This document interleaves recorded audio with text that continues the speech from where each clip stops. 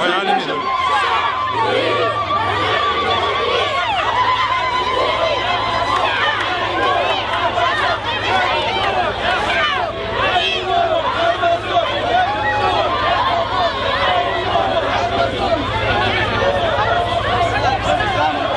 إحنا حفظنا على الوحدة الوطنية واللي إحنا فيها سلحنا فيها الجيش.